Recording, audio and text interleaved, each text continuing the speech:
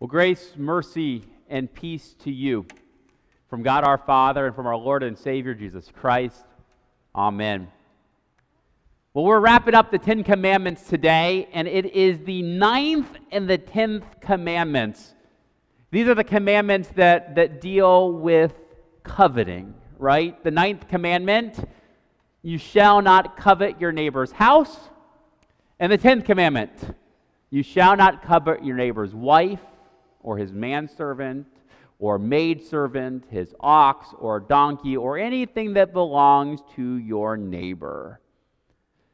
And at first glance, you might look at these and say, oh man, these are a little old fashioned, right? I haven't been coveting anybody's ox recently, so I must be okay.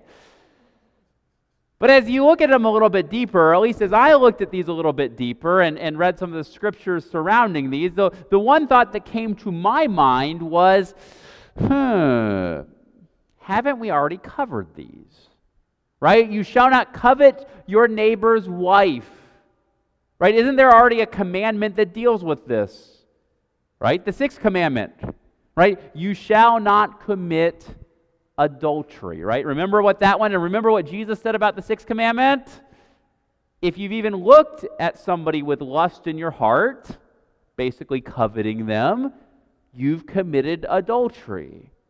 Okay, so that one should be covered. Check the sixth commandment. Follow the sixth commandment. We've got this one covered. And then the seventh commandment, remember, remember that, what that one was? You shall not steal.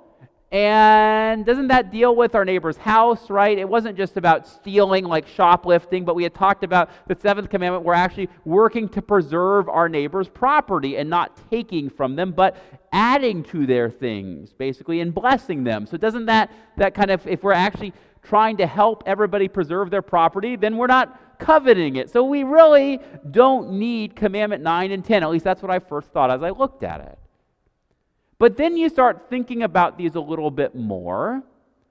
And I'm not God, so I don't know why he gives us these Ten Commandments, but he does. And I think one of the reasons why 9 and 10 are there, and they're not just included in the other commandments that we've already covered, is for those times when we really want to be sneaky in our sin.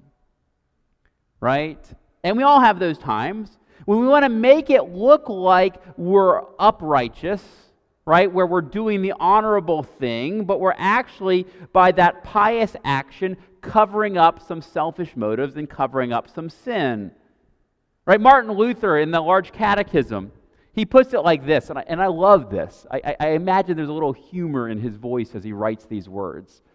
He says, This last commandment, therefore, is given not for the cheaters in the eyes of the world, it is for the most pious who want to be praised and be called honest and upright people. Right? This isn't for those people that are just outright out there committing adultery, right? That are just, just the cheaters, the ones that are outright there blatantly sinning. Right? This is for those of us who are pious, who want to be seen as righteous and upstanding people. Right? It's for those of us who are kind of sneaky in our sin, who are kind of like those sneaky snakes. And we all like to do this. Right? When this commandment was given to God's people, it was common in the Old Testament for people to get a divorce. And it was really easy for you to give your wife a certificate of divorce. You basically said you wanted it, you got a certificate of divorce, you could give it to your wife, and boom, you were kind of divorced. Right? Talked about not doing that. We talked about kind of the sixth commandment, not doing that. But also, what would have been really easy and would have been really common for people to do is say, maybe you were coveting your neighbor's wife and saying, man, I wish she could be my wife. Now, if you wanted to act on that sin or that temptation, you could do one or two things. You could go have an affair, right? And that's breaking the sixth commandment. So you probably shouldn't do that. And if you knew the commandments, you, you, you probably wouldn't do that, maybe not. But then you say to yourself, you know what? I could be a little sneaky about it. Right? Why don't I take my friend who's her husband? Why don't we go out for lunch? And then maybe I can get him talking about how bad his wife is. Maybe just bring up a few things. Man, how's your wife doing? And, get him to just kind of badmouth her a little bit. And then I can help him realize how miserable actually he is in his marriage. And then I can say, you know what? why don't you just go ahead and divorce your wife? Right? This is overly simplified, by the way. Sure enough, he gives her a certificate of divorce, right? And then what can you do as an upstanding, uprighteous citizen? You can sweep right in and claim her as a wife of your own, and you are the Savior, right? You're the one who's uprighteous. When in reality, you've been a sneaky snake right you you've gone in there and caused your friend to divorce his wife so that you can sweep in there because you coveted her. Don't be a sneaky snake. And that's the temptation in all of our sin. All the way back in genesis 3 that's where we get sneaky snakes from right? Genesis 3 most of us know the story. Everything's perfect. Adam and eve are living in the garden of eden. And then the sneaky snake comes. Now the serpent was more crafty than any other beast of the field that the Lord God had made. He said to the woman, Did God actually say, You shall not eat of any tree in the garden? Right? He's more crafty than anybody else. He's sneaky, and God's given Eve all of these things, and the serpent goes up to Eve and say, You know what? Did God say you, you couldn't actually eat of any tree of the garden, right? What about that one over there in the center? Right? Don't, don't you want that? Right? If you eat of that, you, you'll be like God, knowing good and evil, right? You, you'll have even more. It'll be even better. And he gets her to covet by being crafty, by being sneaky. Right? The grass is greener over there. So, so Eve, why, why don't you just go for it? Right? It'll feel good. You, you know you want more. And in his sneakiness, he gets her to covet more than what God's already given her. He gets her to, kind of doubt her security with being a daughter or a child of God. And that's the essence of all of our sin. Right? We, we love to be sneaky in our sin where it doesn't look like we're sinning. Right? It doesn't look like we're going against God's ways, but in reality, we're, we're kind of being a sneaky snake as we covet to try to get more.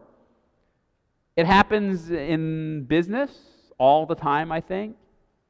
Maybe you, you, you see somebody else's employee, an employee that works for another company, you're like, man, I wish they would come work for me. So maybe you take them out to lunch and you get them to complain about their boss. You can, everybody can complain about people, right? We're all sinners. So you point out a couple of the faults in their boss and you get them, you get them on their tirade about how miserable they are and how much they hate their current boss. Right? And then you make your pitch you say, Look how green the grass is over here. Come and work for me. Right? And you covet them. You try to lure them over at the expense of their current employer. Maybe you're a little sneaky about it. We do this in our families right maybe maybe you're part of kind of a blended family and your your stepson or your stepdaughter is over for the weekend and man, they bring up something about your, your husband or your wife's ex, about how, how mad they're making them, and you just kind of fuel the fire. So when they go back to their mom or their dad, right, you've driven a little wedge there so that you could get them a little closer to you. That's coveting. That's being a little bit of a sneaky snake. That's destroying relationships that God has established right? Maybe for you, I, I see this unfortunately happen a lot around funerals, right? Maybe for you, you, you lose a, a mom or a dad, your parent, and you decide to just be a little sneaky with the inheritance right you you deserve just a little bit more and, and it just gets kind of messy right and you're just coveting a little bit more and then you end up destroying the relationships in your family because you've been sneaky. I see this happen too often, and it breaks my heart when I see that. All because we're coveting, all because we're being sneaky, all because we're wanting more. It destroys relationships. And this is what we see happening in our gospel lesson. Right? The Pharisees, the teachers of the laws, the, the leaders of, of God's people, right? They, they're, they're coveting the power that Jesus has. They're not liking the influence that they have, so they decide to be sneaky snakes to try to get rid of Jesus. They arrest him in the middle of the night. Then we find out in Mark chapter 15. It says, As soon as it was morning, the chief priests held a consultation, right?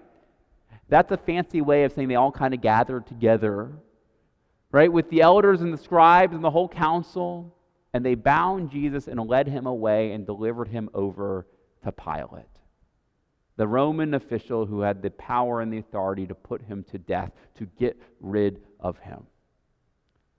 And this is typically, right, like a Holy Week reading, right? And we know what happens, right? Pilate looks at Jesus. It doesn't really say anything wrong with him. and says, they, you know, they say you're the king of the Jews. Are you the king of the Jews? And how does Jesus answer? You've said so. Right? He doesn't say much. He just said, You said so. He, he knows he's probably going to the cross. Meanwhile, the chief priests and the leaders and the scribes, they're all conspiring to get rid of Jesus. They want him gone out of envy, right? They want to get rid of him. Pilate has the idea, he goes, well, he gets requested by the crowd actually, that he released one, one of the prisoners according to the custom for the festival that they were in. So Pilate thinks to himself, well, you know, I could give him Jesus, the king of the Jews, who you call the king of the Jews, or this guy Barabbas. And remember who Barabbas was? He was a man of the insurrection, a murderer of the insurrection. We have a term for that today. That's like a domestic terrorist. So I'll give you this domestic terrorist, Barabbas, or the king of the Jews.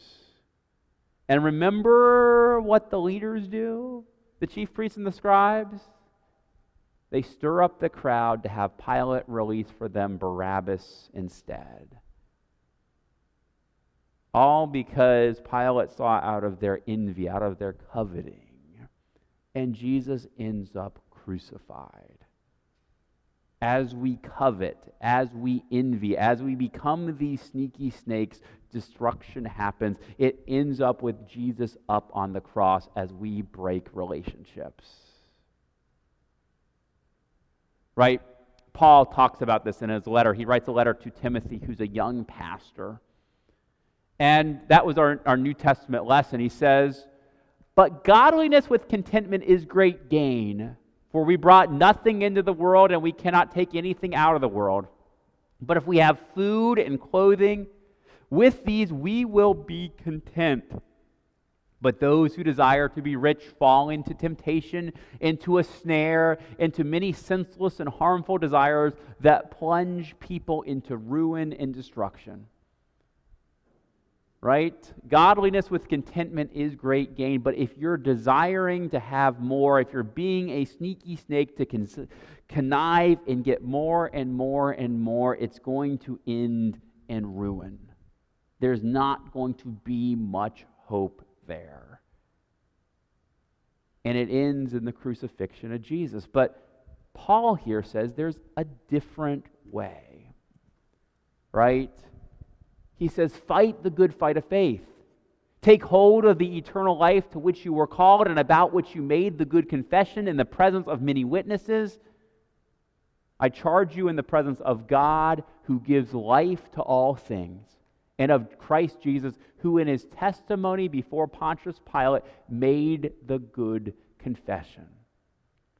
He says, rather than fighting and trying to get more and more and more and being sneaky about things to take and take and take from other people, right? Fight the good fight of faith. Take hold of the faith that you've been given in Jesus, where he's conquered death right? Where we have this promise that nothing can separate you from the love of God in Christ Jesus. Take hold of that and know that that's going to be enough, that Jesus is going to get you through.